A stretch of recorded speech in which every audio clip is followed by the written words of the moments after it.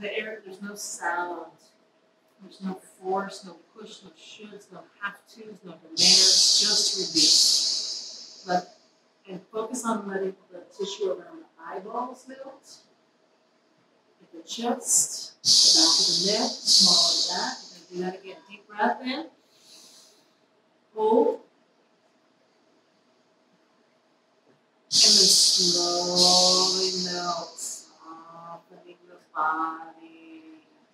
Find the things that you're holding on to that you can just let go. And just let go. Good. Now, to wake up, this is even good for before you go to bed. Roll the wrist of fingers, ankles, and toes.